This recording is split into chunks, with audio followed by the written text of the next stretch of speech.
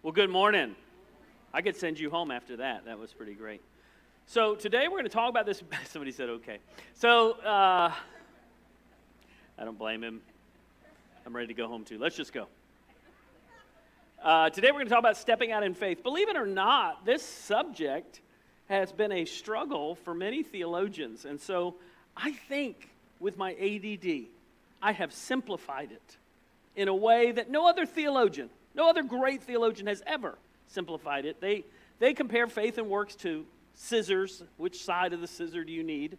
To which my mom said, Well, that's not applicable at all, which was hilarious. And, um, but yet, uh, Luther struggled with this. If you remember, um, Luther um, was the one who understood faith and, and how we're saved by faith. And his big deal was about faith. So when he read James, he said, I'm not sure James should be in the Bible. I mean, it doesn't seem to, to be the same. And so today I'm going to show how faith and works are not polar opposites, they are the same. It's one conversation. And so I'm going to give you just a simple illustration to help you. And obviously, this is my wife's purse, although by the color of my computer, you couldn't tell. But there you go. So, um, you know, when you were, how many of you had a lunchbox when you were a kid? Anybody besides me have a Scooby Doo lunchbox? Anybody besides me? Ah, Scooby Doo. Good to see you. I love my Scooby Doo lunchbox had the thermos with the thing on top, and you could fill it with uh, uh, a drink, or on cold days, some nice soup, right? A little vegetable soup, which was tastes like the can back in the old days. So I put a couple things in here this morning, just things that I can, you know, like to snack on. So of course, snack pack, you gotta gotta have a snack pack. Now, if I could have, I would have brought a little uh, what is it called that has the crackers and the cheese and everything. Lunchable. Kids, that's just the thing now. Kids just, because mom and dads are like, bonk, right? But when you were a kid, they like made a sandwich and threw some stuff. So you got this, and then of course I like I like to snack on string cheese, a little mozzarella, mozzarella uh, string cheese. That's always fun. Did my mic cut out all of a sudden? That was weird. Um, no, they just turned me down because I'm so loud. I don't blame them. So here's the question for you to help you understand faith and works. You ready for this? Do you feed your children or love them? Let me ask it another way. Do you love the people around you or do you make sure they're fed? Which one? Well, obviously, that's the dumbest question you've ever heard. And when we talk about faith and works, it's the same thing. And this is why Luther struggled because he said, well, well, works isn't required for salvation. You are right. You do not have to feed your kids in order to love them. By the way, in Florida this week, a lady went to jail for starving one of her children to death. I am sure she said, I love my child. No, you didn't love your child. Why? Because you would put your child before your own needs if you love your children. And, and we understand that. I mean, there's just something in us that understands you're not a good mom if you don't feed your. What is wrong with you? Is what we want to say, right? And yet we have such a hard time understanding faith and works. But it's the same idea. If you really care about somebody, if you really love them, Jesus said it very simply if you love me, you'll obey my commandments. But I'm going to show you some things in here because some of you, the difficulty is that you, um, when we talk about faith and works, you start to think, think, well, maybe I'm not a Christian. And Billy Graham said it years ago. He said, uh, Satan wants you to convince you that you're a Christian when you're not, and he wants to convince you that you're not when you are. And so I'm going to give you a few things, just some tests for you to look at, some things that you can deal with. But let me, let me tell you something about life as we're going to talk about this first point. Allow your faith to fuel obedience. Years ago, uh, uh, moved into an apartment and for several days took cold showers, did not have time to fix the water heater. Finally, had some time, and I had worked with a plumber, so I knew just enough to be dangerous. So I got my screwdriver out and went towards the 220 powered yeah, I did. Towards the 220 powered water heater. So it had a little warning on the outside you will die if you open up this cover. So after I opened up the cover, inside it had another sign that said, You really are going to die if you open up this thing. So I thought, you know what? I'm just going to. I'm just going to turn the breaker off. And so I went over to the breaker box and it was already off. I turned it on and I could hear when I turned it on. So I did what every man in the world does. I did, and you know what I'm about to say. I did what every man does fixed it like I had done some great deed besides taking cold showers with my family for several days. How exciting that was, by the way. Fixed it. So, what was wrong? There was no power to it. Listen, some people, the reason that you're not carrying out works is because you've never become a Christian. You never have given your life to Jesus. But sometimes it's because you're not abiding in Christ. Maybe at one time you were, but, but lately you've gotten away from abiding in Christ. And there's actually some verses that remind us to not get tired of doing what's right. And so we're going to look at all of that today and kind of put all this in a box. But remember, faith and works hand in hand. Do you love that person or do you want to feed them? That, that shouldn't be a mutually exclusive question. Do you have faith or do you have works? Yes. So here we go. Let's pick up with this. Number one, allow your faith to fuel obedience. What good is it, brothers and sisters, if someone claims to have faith but has no deeds? Can such a faith save them? Suppose a brother or sister, and that's talking about your Christian brothers or sisters. So he's especially pointing out if you know somebody, if you're close to somebody, and they say this to you, there's out clothes and daily food. If one of you says to them, Go in peace, keep warm and well fed.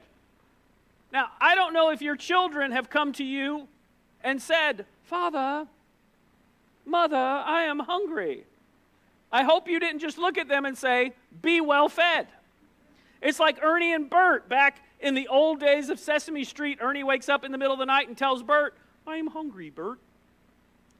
And of course, I cannot do a Bert impression. Bert says, We'll get something to eat. And Ernie says, I'm too tired to get up. And then Ernie says, I got an idea. I'll just imagine making myself a peanut butter, and I believe it was banana, sandwich. And he imagines eating it and drives Bert crazy, of course. And guess what? He's still hungry. So the idea here is you can't just say to somebody, well, hope you're all right. And then it continues. But does nothing about their physical needs, what good is it? In the same way, faith by itself, if not accompanied by action, is dead. So let me ask you a question. How many in here have ever run out of gas somewhere? Never? Some of you have never? Okay, I'm glad the liars finally raised their hands. All right, so here, here's the truth. Now, how many of you ever ran out of gas in a convenient place? You were in a convenient, right? Just happened to be. I remember the 70s. I don't know if you remember the 70s. I'm showing my age. In Miami, there was a gas shortage. I don't know if you remember that. And we had Ayatollah dartboards. If you didn't remember that, you, you're not as old as I am. I'm really showing my age. So I remember in Miami, Laura, you probably remember this too. You had odd and even numbers, and whatever your number was, odd or even, you got to go like Tuesday, Thursday, or Wednesday, Friday. And I don't know what they did with the extra day you can't get gas on Saturday. I'm not sure what it was, but but you had to go on your day. Well, here's what was happening. People were pulling up to the gas station. There were huge lines, and while they were in line, half a mile from the pump, guess what would happen? Run out of gas. So guess what they had to do? Push their car. If you are trying to do works in your own strength, and you're not relying on the power of the Holy Spirit, or you've gotten away from your fellowship with God, and yet you're trying to do religious things, it is going to feel like pushing a car. You're like, oh, I'm so tired of this. And just to give you an idea, this happened in the first century. Listen to what it says in Galatians. And by the way, this is Paul who many theologians are like, well, Paul has an opposite view of James. No, he doesn't. Listen to what Paul says here.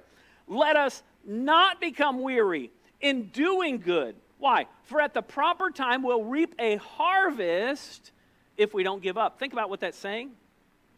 See, see, the law of the harvest is this you reap more than you sow, and you reap later than you sow, right? And so there's this waiting time for what you're planting that you don't see any results. And so he says, hey, you'll reap a harvest, but don't give up. Why? Because a lot of people give up before they get there. And then it continues, therefore, as we have the opportunity, let us do good to all people. And then I love this, especially to those who belong to the family of believers. Now, let me tell you something that I have figured out, and maybe you figured it out. You ready? It takes work to be around people. There are days that you and I, the pastor, does not want to be around people. You ever not want to be, anybody in here ever not want to be around people? Now, I'm really going to hit close to home. You ever had somebody, a friend of yours, cancel a, a get together and you went, whew, oh, so glad. Now I don't have to do I don't have to shower. I can just whatever, right? Netflix, whatever it is, just leave me alone. And we've got a lot of leave me alone. They've actually done studies now that people would rather not work with others than work with others. How's that for our society, right? And so the truth is, we sometimes grow weary in doing good. Why? Because it takes work. Every one of you this morning had a choice to make. You got up. Sorry, people online. You just pretend you're here too. I'm just pretending all of you are sick. All right. So, so you got up this morning and you had to say, shower, I hope, deodorant, hopefully, brush teeth, possibly, right? You, you had work to do, some of you more than others. Now, I don't understand why us men aren't spending more time than the women because, as Jim Gaffigan says, we're the ones who really need the time, right? And so the truth is, right, it's work to get ready to get out with people. But there's something about connecting with other people. Why? You can't even know what somebody's needs are if you never talk to them. I called somebody yesterday and I, and, uh, I said, Hey, we haven't talked in a while and I just wanted to see how you're doing. And they said, I've been in the hospital. They didn't tell me they were in the hospital. They didn't tell anybody else. And here's what I said to them Well, I've been in the hospital three times. Which hospital were you in? Maybe I could have walked down the hall and visited you. To which they said, I didn't know you'd been in the hospital. And I thought, It's because we haven't talked. If you isolate yourself from other people, you cannot live out these verses. Did you hear me? And it is work today to get to know your neighbors. They run from you. I love that I've gotten to know my neighbors. I have a neighbor right now. He's in Hawaii. They take a trip to Hawaii every year. So I egg their house every no, no, I'm just kidding. So every year they Remember egging houses? Okay, sorry. Every year they go to Hawaii. So every year now he's gotten to know me. He sends me a text that says, Hey, I'm going out of town. You keep an eye on my house. So while he's out of town, I take my lawnmower, I run through his driveway. I grew up in Miami. So what do we do for people from Miami? We drag our garbage can over to our neighbor's house so it looks like they're home. We blow off their driveway so it looks like that. That's it. We're not doing anything else. That's all they get, right? So I get a, I get a text, hey, did you just run through my driveway on your lawnmower? He has a ring doorbell apparently. So yesterday, as I drove through there with the bell, I waved at the So I get a text, hey, thanks for saying hi, aloha. Aloha. And then I egg their house. No, I didn't.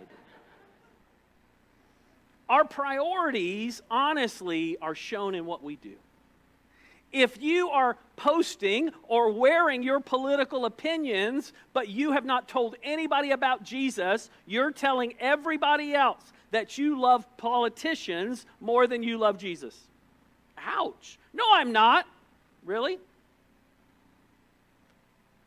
If you love me, Jesus said, you'll obey my commandments. What's one of his commandments? Go and make disciples. What does that mean? You have to tell other people about him. You have to let people know about him. Sometimes we are more proud of our political position than we are of our faith. So which one is really our priority? Let's be honest. Come on, just be honest. Did you feed your children or do you love your children? Oh, well, I, it's both. can we see it? Those of you who know me know I love my little puppies.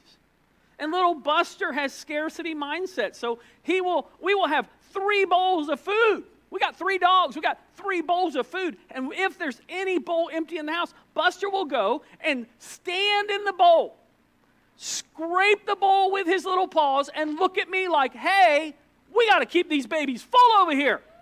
Now, the other bowl's full to the top, but Buster's like, we got to fill this up. And I got to tell you, I go and fill up the stupid bowl for the dumb dog. Why? Because I care about my dumb dog. Can we care about Jesus as much as we care about our dumb pets? Can we care about other people? I said to my wife last week, you know, one of my goals is to be as nice to people as I am to my puppy. Isn't that sad? Sometimes I have to, that, that raises the bar. But our priorities show. I want to give you one challenge this week. Calendar a person to bless this week. Now, if you don't know what I mean, here's what I mean by calendar it. Figure out when you're going to do it. Why? Because we don't do 100% of the things we don't plan to do. And we do about 80% of the stuff we plan to do, right? Hopefully. And, and so I want to encourage you, even if you just think about it during church, or if you can put it in on your phone, maybe it's Tuesday, maybe it's Monday, maybe it's today. Hey, I'm going to call so and so who I've not seen in a while. I'm going to check on so and so. Hey, I'm going to check on that brother or sister who I'm the one who always calls, but I'm going to call them today anyway, right? I'm going to go out of my way. Maybe there's a neighbor, maybe there's a friend, maybe there's somebody that you say, hey, you know what? You want to go to lunch? Calendar a way to bless somebody this week. And it's amazing. When I called this person yesterday, I said, hey, I just haven't talked to you in a while. And they said they've been in the hospital. I was like, oh, no idea. And so I was able to talk to them and pray with them. You never know what happens when you open communication with other people. Listen to what Peter Lord said if this doesn't convict you. What you believe is what you do, the rest is just religious talk. So if I followed you around, would there be any proof that you're a believer? Would there be any proof by how you treat other people? Would there be any proof by the way you talk, by the things you do? Ready for this? This is going to hurt. Buckle up. By the things you post, that you are a true believer. Number two, discover ways to believe and do. I had a college uh, uh, pastor tell me this. He said, when we get to heaven, we're going to have flat heads. And I'm trying to figure out what verse he's talking about. Like, is there some scripture that I have totally missed that's talking about flat headed people in heaven? I mean, what in the world? And, he, and I said, well, What do you mean? He said, Because when we get to heaven, we're going to realize we put our faith in Christ and we were right about that. But we were wrong about so many other things that we go, Oh. Oh. What about the dinosaurs? Oh. What about creation? Oh. What about the Nephilim? Oh, you know, we don't you don't care about that, right? Listen to this, James 2. But some will say, You have faith, I have deeds. Show me your faith without deeds, and I'll show you my faith by my deeds. You believe there's one God, good. Even the demons believe and shudder. Basically, he's saying the demons have better the, the demons have just as good understanding as you do, but they don't show it, they don't demonstrate it. It's not all about getting your theology perfect. And then he continues You foolish person, do you want evidence? Faith without deeds is useless. Was not our father Abraham considered righteous for what he did when he offered his son Isaac on the altar? You see, his faith and actions were working together. Do you feed your kids or love your kids? Well, yeah and his faith was made complete, and that's the word justified, by what he did. And the scripture was fulfilled that says, Abraham believed God, and it was credited to him as righteousness, and he was called God's friend. Now, listen Abraham was super messed up. You read the story of Abraham, and you're like, I would never do that. You're like, on my worst day, And my voice cracked just saying worst. On my worst day, I wouldn't do those things. And yet, what happened? God called him his friend. Why? Because he pursued a relationship with God. Did he get it all right? No. Will you get it all right? No. When you get to heaven, will some of your theology be off? Absolutely. I'm going to get to heaven and be like, well, no, I really thought. Martin Luther got to heaven, had said the book of James is not a good book. He had to meet James. James walked up to him and said, What are you doing criticizing that? That's the best letter I wrote. What is wrong with you? And he's like, Right? The truth is, there's a lot of things that we believe we get it wrong. But the most important thing is do you believe that Jesus died on a cross, rose again, and when he says to you, Follow me, are you willing to surrender your life to Him? And the Bible says when you do that, because He died and rose again, and when you believe that and you surrender your life to Him, the Bible says your old person goes away, the Spirit comes in you, gives you a new way of living, new power, new strength, new goals, new life, new beginnings. So that even if you don't get it all right, when you get that right, guess what? Faith and obedience working hand in hand, what happens? When you get to heaven, yeah, you're still going to go, oh, I, yeah, I. But the good news is you'll get there. And one day we'll sit together and talk to each other. In 1 John, it says this, and talking about people who think they're Christians, but their lives don't show it. If we claim to have fellowship with Him and yet walk in darkness, we lie and don't live by the truth. But if we walk in the light as He is in the light, we have fellowship with one another. And what happens? The blood of Jesus, His Son, purifies us from all sin. Now, don't take this the wrong way this thing that says walk in darkness, it doesn't mean that we don't trip as believers. It doesn't mean that we don't fall. It doesn't mean that we don't struggle. It doesn't mean that we don't have to get things right with God. But it means if we pursue sin, if you have no conscience about sin, then maybe you should start to think, maybe I'm not a believer. If you have no desire to do what God's called you to do, maybe the first question needs to be Am I really a Christian? But if you fall and fail and confess, then just make it right. That's our next challenge. Listen, confess and repent of any disobedience.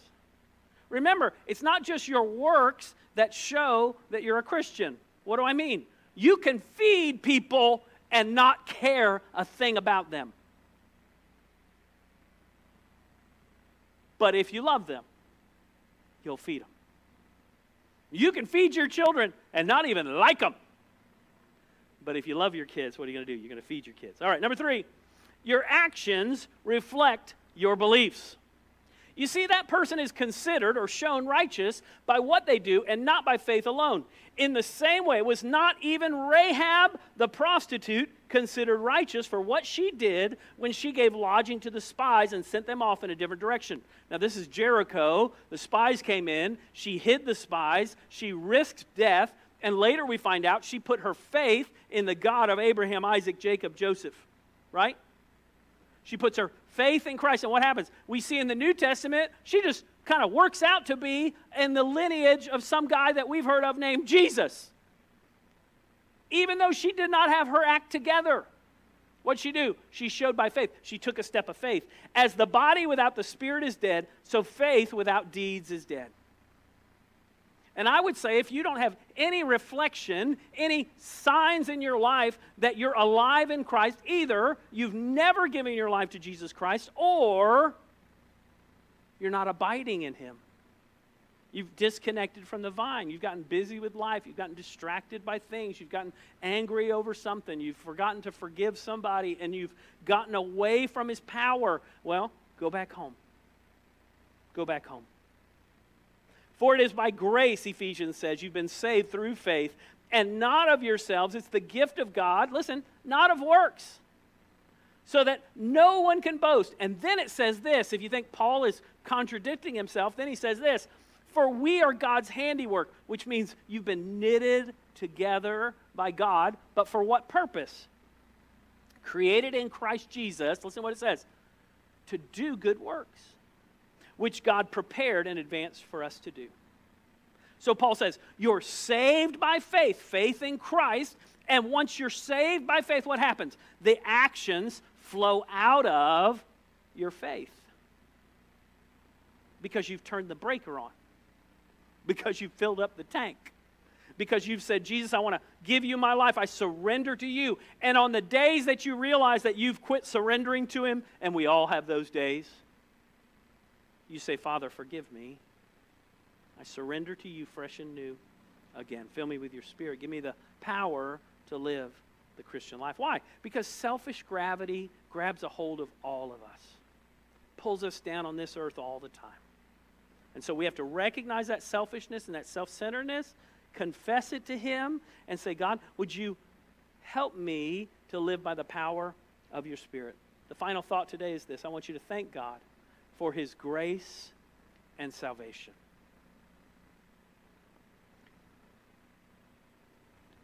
Do you have faith or do you have works? Yes. Do you feed your kids or do you love them? Yes. If you love God, Jesus said, if you love me, you'll obey my commandments. So you just begin to say, God, would you help me to walk in your path? You're here today and you're not sure you have a relationship with Christ, today would be the day that you say, God, I don't know if I have a relationship with you, but I, all the things Eric said earlier about salvation, I believe, and so I surrender my life to you today. Maybe you're here today and you're not a Christian. I'd love to talk to you after the service. We can talk about what it means to be a Christian. Maybe you're here today and as a Christian, the truth is you've become selfish and self centered. Confess it, make it right. Let's close in prayer today. Father, thank you for this time together. Thank you for your word, your power, your strength. We love you, Lord. And Father, we're all on, if we're all honest, we, we don't get it right sometimes. Lord, sometimes we, in our own selfishness and self centeredness, we pull away from you, we go our own way. But Father, you said when we confess our sins, you are faithful and just and will forgive us and cleanse us of all unrighteousness. So give us your power today. Lord, thank you for each one. I pray that all of us would be examples of you, would walk in your power. In Jesus' name, amen. We have a great